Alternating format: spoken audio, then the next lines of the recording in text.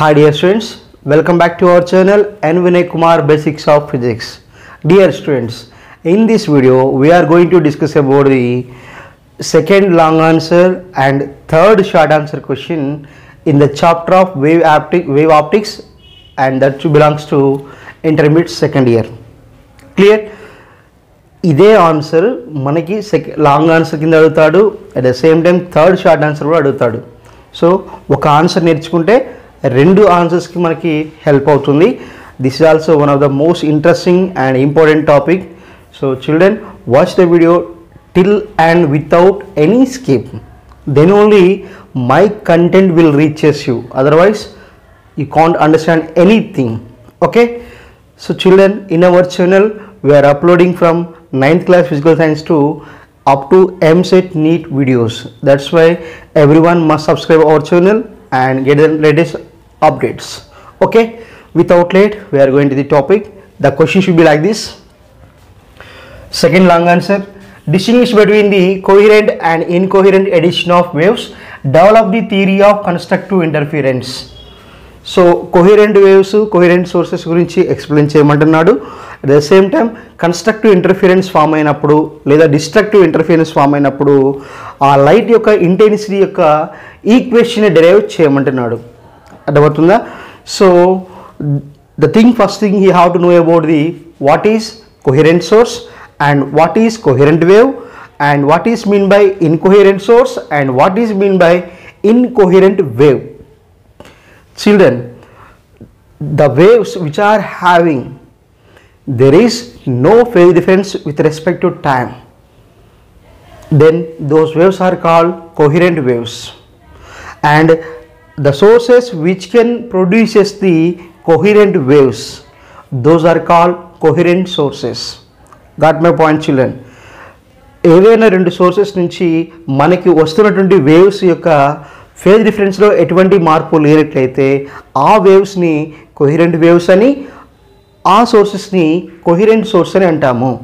అంటే for example ఇక్కడ this is a one wave clear and this is the another wave both are released from the source at a time and both are reaches the screen at a time then the type of waves are called coherent waves ఒకే source నుంచి release అయిన తర్వాత ఒకే విధంగా move అవుతూ ఒకేసారి screen reach అవుతున్నాయి అనుకోండి వాటిని మనము కోహిరెంట్ వేవ్స్ అంటాము దానికి కోహిరెంట్ సోర్స్కి డెఫినేషన్ ఇక్కడ ఉంది చూడండి coherent sources the two sources which maintain zero or any constant phase difference are known as coherent sources.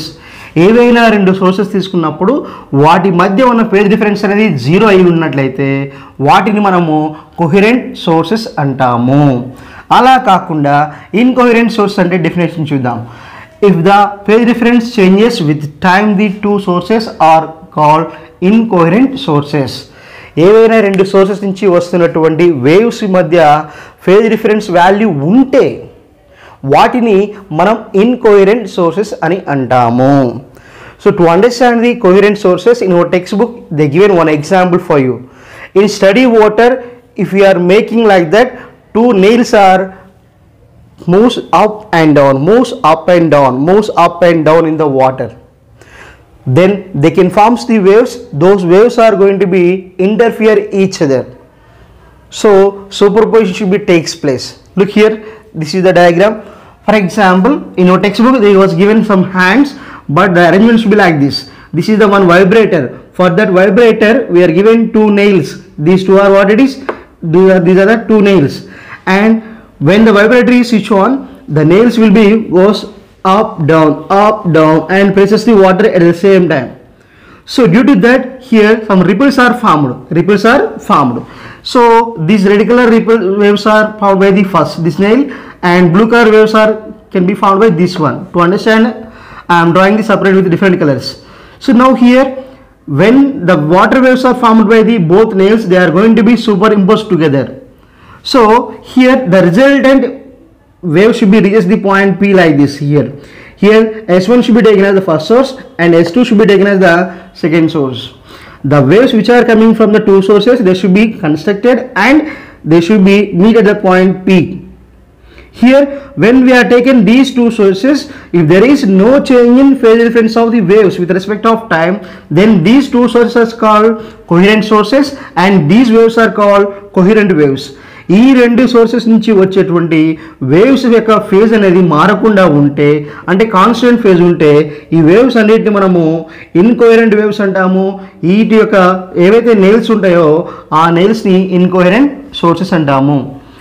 So next ఇక్కడ ఇక్కడ చూడండి. ఎంగ్స్ డబుల్ స్లిట్ బ్రేక్ చూడండి కూడా మనం దీనికి ఎగ్జాంపుల్గా చెప్పుకోవచ్చు. ఇక్కడ ఎస్ అనేది ఒక సోర్స్ ఉంది. దాని నుంచి వేవ్ ఫ్రంట్స్ ఇలా వచ్చేస్తున్నాయి.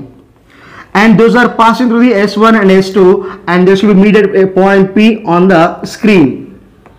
సో ఈ పి అనే పాయింట్ దగ్గర కన్స్ట్రక్టివ్ ఇంటర్ఫిరెన్స్ జరిగితే that is the bright band అలా కాకుండా డిస్ట్రక్టివ్ ఇంటర్ఫిరెన్స్ జరిగితే that is the dark band so what is mean by constructive interference and what is mean by destructive interference so children all of you know here for example this is the one wave crest trough crest trough crest like that so when crest of the second wave must be false over the crest of the first wave trough must be false over the trough of the second wave like that then the type of interference is called interference is called constructive interference second wave యొక్క cress అనేది first wave యొక్క crest మీద follow అవుతుంది. Second wave యొక్క trough అనేది first wave యొక్క trough మీద follow అవుతుంది. సో ఆ విధంగా సూపర్ ఇంపోజ్ అయితే దాన్ని మనం ఏమంటామంటే కన్స్ట్రక్టివ్ ఇంటర్ఫిరెన్స్ అంటాం. ఆ విధంగా కాకుండా crest of the one wave should be falls over the trough of the another wave. ఒకదాని క్రిస్ట్ అనేది ఇంకో దాని ట్రఫ్ మీద ఫాలో అవ్వకుంటూ వస్తుంది అనుకోండి అప్పుడు ఆ ఇంటర్ఫిరెన్స్ని మనం డిస్ట్రక్టివ్ ఇంటర్ఫిరెన్స్ అంటాం. సో డిస్ట్రక్టివ్ ఇంటర్ఫిరెన్స్ అయినప్పుడు మనకి ఇంటెన్సిటీ వాల్యూ తగ్గుతుంది. సో ఇప్పుడు ఈ ఆన్సర్లో మనం ఏం డిస్కస్ చేయాలి అంటే ఆ ఇంటెన్సిటీస్ ఆ మ్యాక్సిమం ఇంటెన్సిటీ మినిమం ఇంటెన్సిటీకి ఈక్వేషన్ని డెరైవ్ చేయాలి. మ్యాక్సిమం ఇంటెన్సిటీ ఎప్పుడు ఫామ్ అవుతుంది? Maximum intensity can be formed because of constructive interference and minimum intensity ఎప్పుడు ఫామ్ అవుతుంది? Because of destructive interference once I once again I'm telling you what is mean by constructive interference crest of the one wave should be falls over the crest of the another wave and creation of the one wave should be falls over the trough of the next wave that should be what we call destructive interference waves chapter చెప్పేటప్పుడు ఈ constructive destructive గురించి చాలా clear explain చేశాను beads form వేసినప్పుడు ఒక్కసారి ఆ video చూడండి మళ్ళీ మీకు క్లియర్ అర్థమవుతుంది ఓకేనా సో ఇప్పుడు డైరెక్ట్ లెంత్ వీడియో కాకుండా డైరెక్ట్గా మనం డెరివేషన్కి వెళ్ళిపోదాం ఓకేనా okay children this is the one of the important derivation and so many formulas are included and that the same topic is useful for competitive exams also watch very carefully. So just now i already told you we have to take the displacements of two waves. The first one is y1 is equals to a sine omega t. Y is equals to a sine omega t. And displacement of the second wave which is coming from the second source. For example here uh, this is the source 1 and this is the source 2 and now this is the displacement of the first wave and this is the displacement of second wave. Clear? So this is s1 and this is s2 like that. Here y1 is equals to a sine of omega t that should be coming from the source s1 and uh, y2 is the coming from s2 and both are meet at this point P. So now we want to find out the displacement at this point P on the screen. So here the displacement should be taken as a sine of omega t plus pi. So this is the displacement of the wave coming from the secondary source or second source. So now according to according to principle of superposition of waves principle of superposition superposition of waves superposition of waves what we write? Y is equals to y1 plus y2 we have to write. Now you substitute these two values in that equation. Y is equals to a sine omega t plus a sine of omega t plus pi. Children now y is equals to a sine omega t. Here a is i am writing like this. This is in the form of sine of a plus b sine of a plus b So sine of A plus B formula is what children? Sine A cos B plus cos A sine B. This is the formula we are going to use. Sine of A plus B. In the place of A what we have? Omega t. In place of B what you have? Pi. That's what you write. Sine omega t cos pi plus cos omega t sine pi. So now we have to multiply with the a. Then what do you get? y is equals to a sine omega t plus a into sine omega t. a into sine omega t cos pi plus a into cos omega t sine pi. So children here you have to observe here in this equation we have a sine omega t is there a sine omega t is there. So now we have to take a sine omega t is common. Then what you write children? y is equals to a sine omega t of 1 plus cos pi. A sine omega t we are taking outside. We have only cos pi. Here 1 plus a cos omega t sine pi. After that children here I am writing like let. A into 1 plus cos phi. A into 1 plus cos phi is equals a a cos so a into one plus cos phi ఏమనుకుంటున్నాం? A cos తినడినాం similarly a into sine phi a into sine phi is equals to a sine theta so children this equation number one and now it is equation number two and equation number 3 now we have to squaring on both sides these equations and we have to add them. Squaring on both sides and after that we have to add 2 and 3 then what we get? Let's go for that. Here derivation is very important children. The board is not spa- spacious. That's why i am writing very small. That's why we have to focus very carefully. So we have to do squaring on both sides what do we write what you have write children simply a of 1 plus cos pi whole square is equals to a square cos square theta and again this one a sin pi whole square is equals to a square sin square theta so for that here we will write a square into 1 plus cos pi whole square is equals to a square cos square theta. And here how it is children? A plus b whole square. That's why here a square of 1 plus cos square pi plus again 2ab 2 cos pi is equals to a square cos square theta a square cos square. This is theta. No need to confuse. So this is the theta. Now we have to multiply with the a, a square.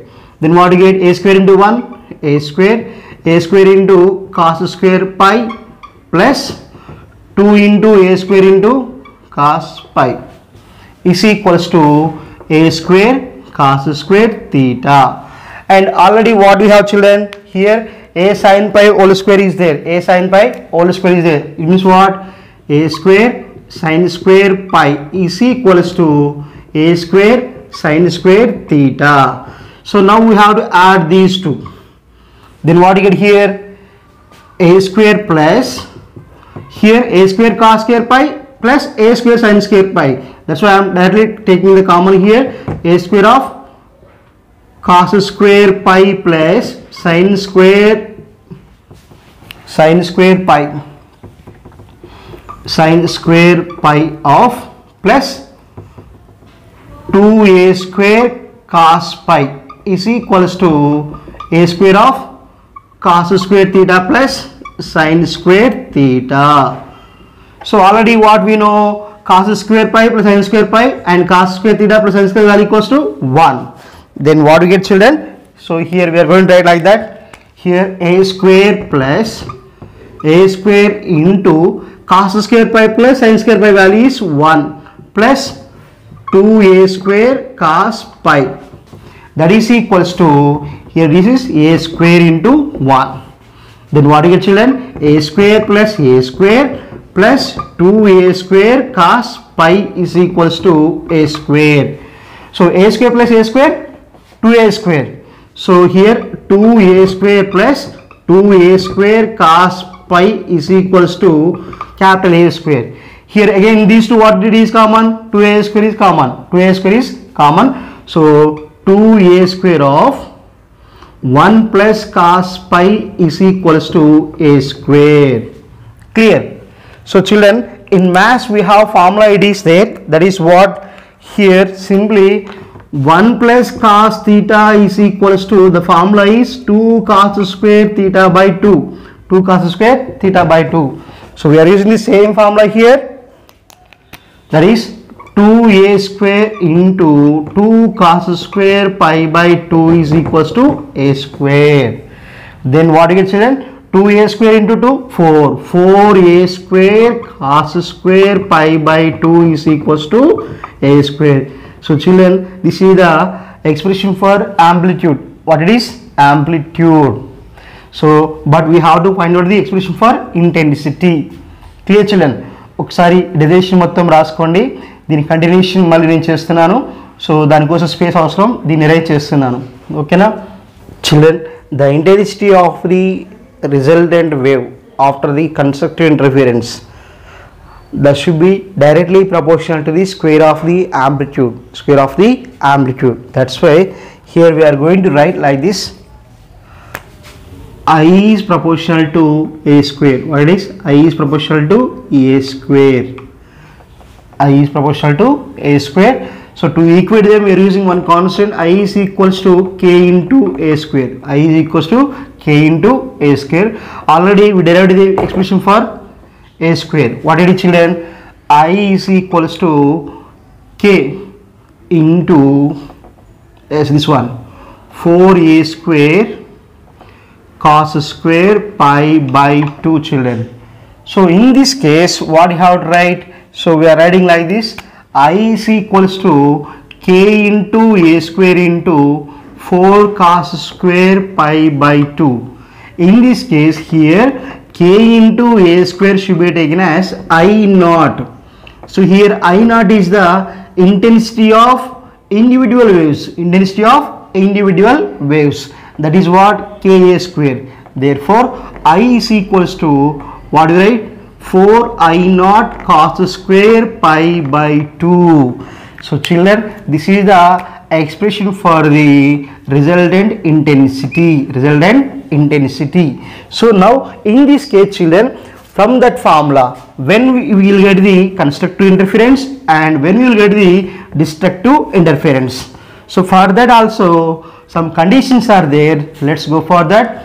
That condition is for bright or maximum intensity. Maximum for maximum intensity.